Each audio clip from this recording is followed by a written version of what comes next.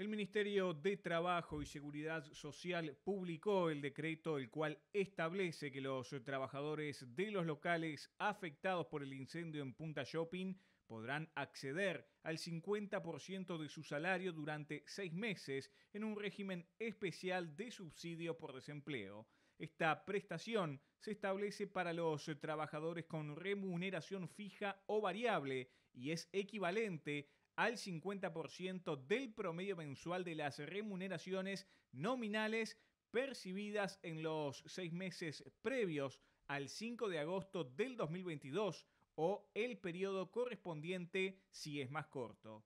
Para los trabajadores con remuneración por día o por hora, la prestación será el equivalente a 12 jornales mensuales, señala el documento. La cartera también indicó que para que los trabajadores puedan ampararse en este régimen, las empresas afectadas deberán comunicarse con la Dirección Nacional de Seguridad Social para proporcionar datos necesarios en un plazo máximo de 10 días. En paralelo, el intendente de Maldonado, Enrique Antía, confirmó que el shopping no será trasladado momentáneamente al centro de convenciones como habían propuesto los empresarios. El jefe departamental señaló que ese predio trata de una inversión del pueblo de Maldonado con otras finalidades y en la cual la Intendencia Fernandina lleva más de 50 millones de dólares destinados. Y sería este, achicar el objetivo del centro de convenciones, pensar en un,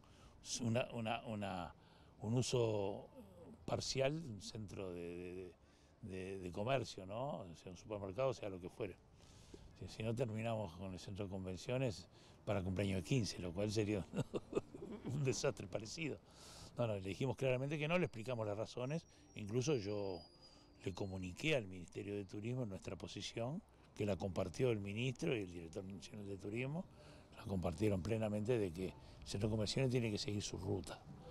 Su objetivo planteado que lo está haciendo recuperando espacios perdidos a raíz de la pandemia.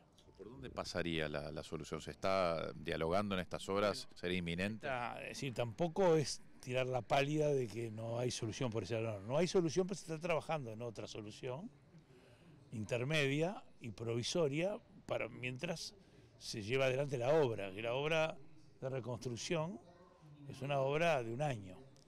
La noticia buena que yo tuve en el día de ayer, de noche a última hora, a las 9 de la noche, en una reunión de trabajo, con eh, uno de los dueños y representantes del shopping y el CEO principal de tienda inglesa, acordaron rehacer de vuelta eh, tanto el shopping como la tienda